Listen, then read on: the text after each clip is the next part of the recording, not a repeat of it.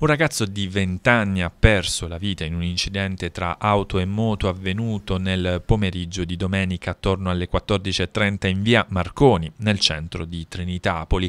La vittima, Nicola Signoriello, originario del posto, viaggiava infatti a bordo della sua Suzuki quando, per cause ancora in corso di accertamento da parte delle forze dell'ordine, si è scontrato con una Ford Focus.